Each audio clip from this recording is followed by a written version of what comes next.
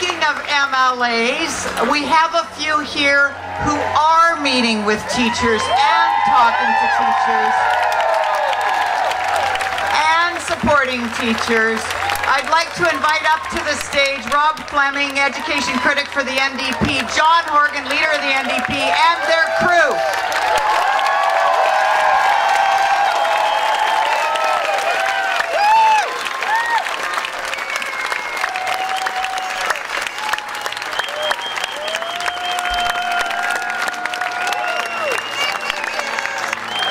What a great crowd of public education defenders.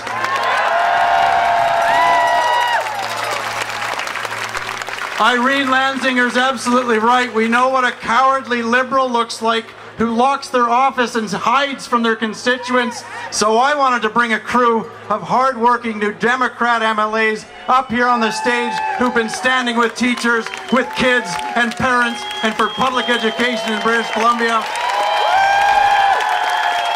George Heyman, Judy Darcy, Mable Elmore, Carole James, Michelle Mungall, and a guy I'll introduce in a minute, Gary Holman, Jenny Kwan, David Eby, and Maurine Karagianis.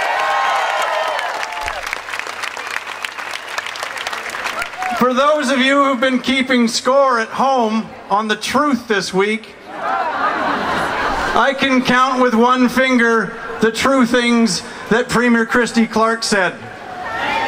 She said for the umpteenth time, the bargaining system in education in British Columbia is broken. And no one knows better than Christy Clark because she broke it.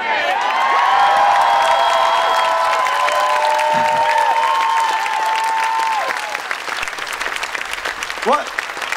What was her first clue, by the way?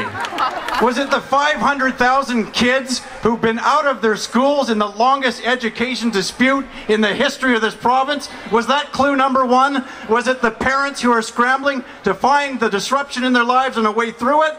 Was it the disrespect to the men and women, the 41,000 professional teachers in this province who haven't been teaching in a classroom for three months? What was your first clue, Christy Clark?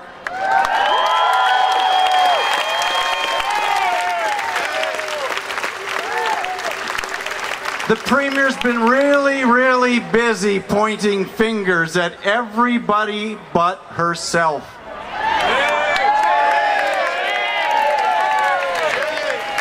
I want to ask Christy Clark this.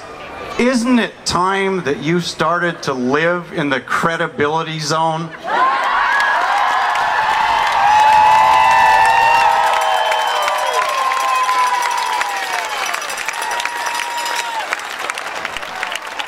We, we know what failed leadership looks like. We have had to live with it for a long time now. We have paid a heavy price, families right across British Columbia.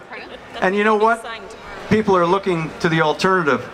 People are looking for strong, compassionate leadership that values public education, that respects teachers, that rejects confrontation and provocation because that doesn't get us anywhere except where we are here today.